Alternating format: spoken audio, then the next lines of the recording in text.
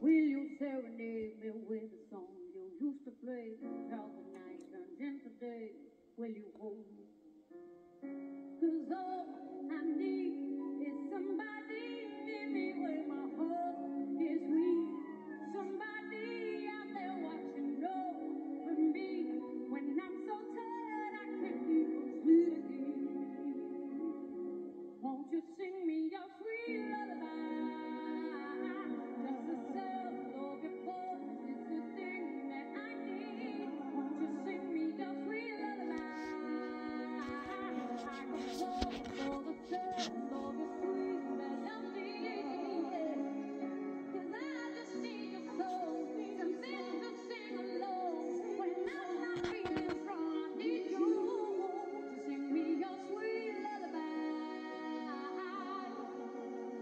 myself.